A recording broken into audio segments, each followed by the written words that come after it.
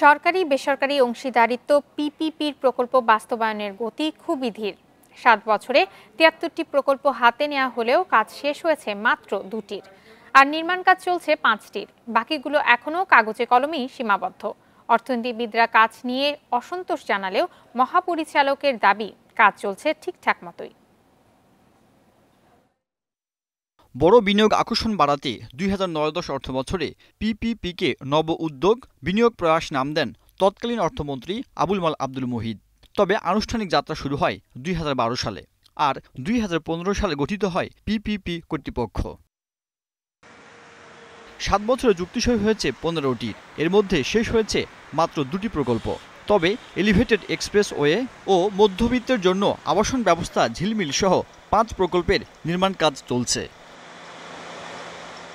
বিশ্লেষকরা বলছেন আমলাতান্ত্রিক জটিলতা সহ নানা কারণে আগ্রহী হচ্ছেন না বিনিয়োগকারীরা। অগ্রগতি সেরকম কোনো সন্তোষজনক না।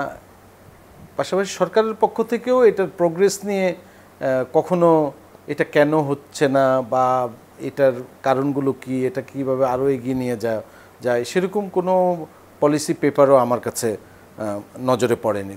তবে মহাপরিচালক বলছেন সঠিকভাবেই এগিয়ে চলছে পিপিপির কার্যক্রম। আমি মনে করি যে মন্ত্রণালয়গুলি এবং আমাদের এই পিপিপি অথরিটি যথাযথভাবে কার্যক্রম এগিয়ে নিয়ে যাচ্ছে এবং আমরা আশাবাদী যে এর উদ্দেশ্য এবং যে গোল আছে সেই গোল পূরণ করতে সক্ষম হবে। কোনোটা একটু দ্রুত গতিতে হয়, কোনোটা একটু আস্তে আস্তে হয়, যেটা হয়তো আমরা ওইভাবে বলতে পারব না যেটা আসলে খুব পিছিয়ে পড়েছে।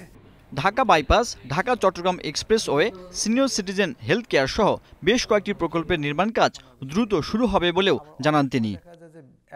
সাজ্জাদ হোসেন ইন্ডিপেন্ডেন্ট নিউজ ঢাকা আট দশটা